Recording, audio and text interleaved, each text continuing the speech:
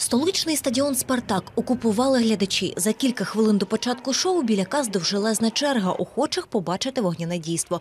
Найбільш спритні займають безкоштовні місця біля паркану за межами арени та розмірковують, що побачать незабаром. Вилітає огонь, різні формочки там у них е, і цілі, да, і жонглірують, і крутять. Ті, хто квитки все ж таки придбали, не розчарувалися. 70 майстрів на сцені Київського фестивалю вогню жонглювали запаленими палицями, віялами, кульками. Захоплення та жах глядачів викликав киянин Сергій. Жонглер підкидав одночасно п'ять палиць. Одна з них не втрималася і впала прямісінько хлопцю на обличчя. Обійшлося без опіків.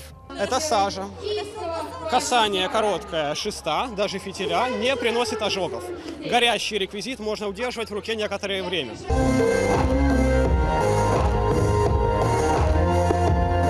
З почорнілими обличчями та усмішкою на вустах завершують свій виступ білоруси Павло та Ернест. Цей відомий у колі жонглерів тандем дивував своєю синхронною технікою глядачів багатьох європейських фестивалів. Мы уже выступали э, в Германии, в Венгрии и в Польше, да. В, Польше. Як приймали?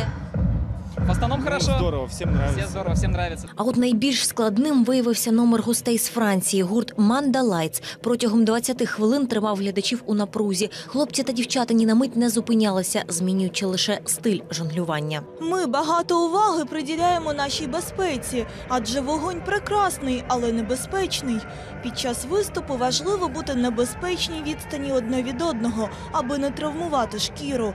А от волосся та одяг ми не обробляємо спеціальними засобами. Про безпеку учасників та глядачів запального шоу організатор фестивалю вогню подбали. Біля сцени постійно чергували рятувальники, а після виступу реквізити миттєво обробляли вогнегасниками. где там на палках дали огонь. Классно было. Шоу інтересне. Я вже за 12 років дуже багато чого побачив, ну тут дуже інтересно. Вкусно, динамічно і технічно, феєрично. 300 людей, які одночасно жонглюють вогнем. Такого в світі ще ніхто не робив. Це учасники Київського фестивалю вогню намагаються встановити світовий рекорд. Чи вдалося їм буде відомо вже за кілька місяців. Своє надбання, свій рекорд вони дарують Києву у день народження. Дар'я Феденко, Іван Наконечний, п'ятий канал.